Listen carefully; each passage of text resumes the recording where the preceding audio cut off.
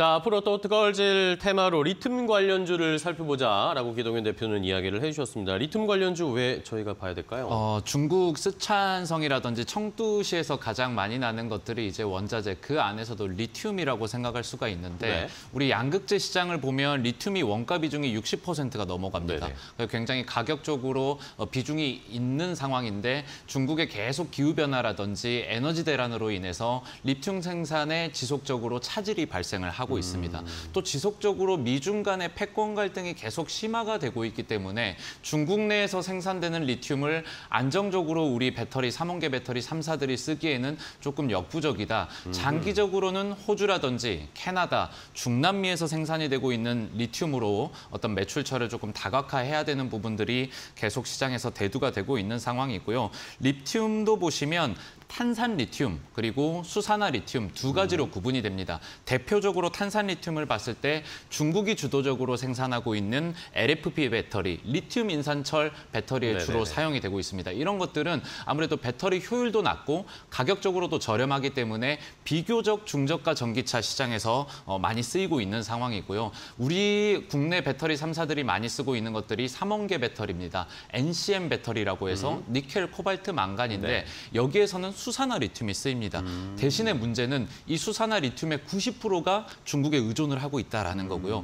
우리 과거의 요소수 사태도 보셨겠지만 중국이 얼마든지 에너지 무기화를 통해서 요소수를 막게 되면 국내 시장 경제에 크게 영향이 있을 수 있고 여기에 따라서 이 문제를 겪고 나서 우리 요소수의 어떤 그 어, 수출 다변화가 바로 이루어졌습니다. 그래서 어, 요소수 비중이 굉장히 낮아진 것들 그리고 앞으로도 충분히 리튬이라든지 니켈이라든지 여러 원자재 가지고 중국이 에너지 무기화를 할 수 있고 기후 변화도 지속적으로 계속될 거라고 봤을 때 국내 삼원기 배터리의 이 매출 다각화가 필요합니다. 해서 어, 그 수주를 어, 안정적으로 원자재를 들여와야 되기 때문에 호주라든지 캐나다 정부 정책적으로도 어, 적극적인 어떤 움직임들이 필요하고 기업 입장에서도 LG 에너지 솔루션이라든지 SK온, 삼성 SDI가 적극적으로 중남미 시장 그리고 호주, 캐나다 또 유럽 쪽에서 리튬을 들여오는 사업들 하고 있는 거 굉장히 중요하다라고 정리드리겠습니다. 네. 자, 그렇다면 어떤 종목들 저희가 리튬 관련주로 좀 살펴봐야 될지 몇 가지를 한번 체크를 해볼까요? 네. LG 에너지 솔루션을 보시면 캐나다 광물 업체 세 군데와 최근에 수산화 리튬 공급 계약을 체결을 했습니다. 어. 그래서 오늘도 어느 정도 지수 반등에 힘입어 가지고 121선 위에서 아래꼬리 좀 길게 달면서 매수세가 조금 유입되고 있는 모습들을 보실 수가 있는 거고요. 앞으로 이제 IRA 법안으로 인해서 미국에서 전기차 구매했을 때 세액공제 혜택을 받으려면 어, 미국과 FTA를 체결한 국가의 원재료를 40%에서 27년도까지 80% 까지 늘려야 되는 어떤 어, 숙제들을 가지고 있습니다. 어, 이런 부분들을 맞춰내기 위해서 국내 삼원계 배터리 삼사들이 적극적으로 중국 외의 국가들을 통해서 리튬을 공급받기 위한 움직임들을 보여주고 있는 거고요. 정부 차원에서도 적극적으로 해당 부분을 움직이고 있다를 체크를 해보셔야 됩니다. 그래서 리튬 관련 사업들을 하고 있는 기업들을 2차 전지 소재주 안에서도 주목해서 보셔야 되는 부분이고요. 최근에 일론 머스크도 이 리튬 면허, 면허를 가지고 돈 찍어내는 기계라고 할 만큼 앞으로의 어떤 리튬 가격이 어, 산업에서 굉장히 큰 비중을 차지하겠다라고 생각을 하고 있습니다. 네. 최근에 코리아 SE도 보시면 보통 이제 코리아 SE는 이 기후 변화라든지 그 재난 관련주로 조금 분류가 됐었는데 네.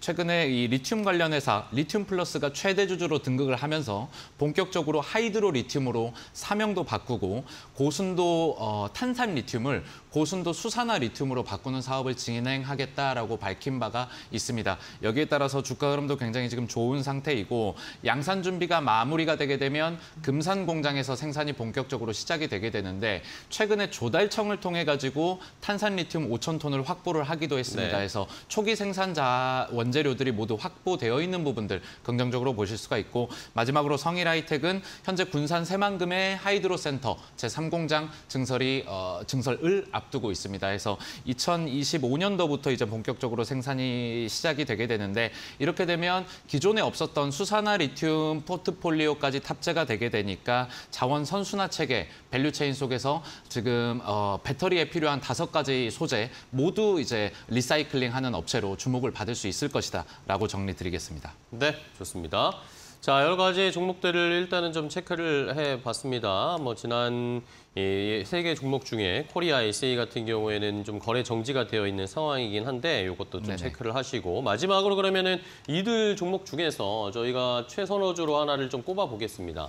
네, 사실 거래 정지가 풀리게 됐을 때 코리아 SE가 가장 적극적으로 리튬 사업을 국내에서 해나갈 것이라고 생각을 하지만 어느 정도 시장의 어떤 변동성과 안정성을 생각을 했을 때 최근에 상장을 했던 성일하이텍, 폐배터리 관련주를 같이 보실 수가 있을 것 같습니다. 앞서 말씀드렸던 것처럼 성일하이텍은 코발트, 니켈, 리튬, 구리, 망간 총 다섯 개의 어, 원료를 모두 회수 가능한 기술을 만들어냈습니다. 그래서 네. 굉장히 강력한 포트폴리오가 폐배터리 value chain에서 구축이 되어 있다라고 보실 수가 있고요.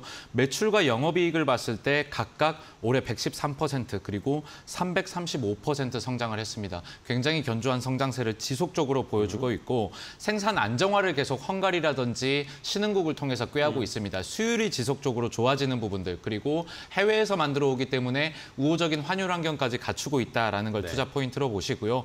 리튬의 연간 생산 능력이 현재로서는 2,000톤입니다. 근데 앞으로 앞서 말씀드렸던 제3공장이 새만금에서 가동이 본격적으로 시작이 됐을 때이네배 이상인 9,000톤까지 생산 능력이 확대된다는 점들을 투자 모멘텀으로 가져가셨으면 좋겠습니다. 그래서 매수가는 어, 현재가부터 12만 4천 원까지는 매수 밴드를 드리고요. 네. 목표가는 일차적으로 16만 6천 원으로 제시를 해드리겠습니다. 손절 라인 10만 6천 원입니다. 알겠습니다.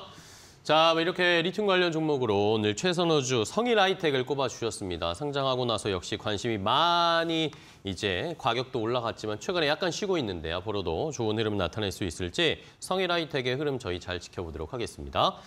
자, 오늘 기동현 대표와 함께 이야기 나눠봤습니다. 오늘도 좋은 종목, 좋은 insight 주셔서 고맙고요. 다음 시간에 또 뵙도록 하겠습니다. 고생 많으셨습니다.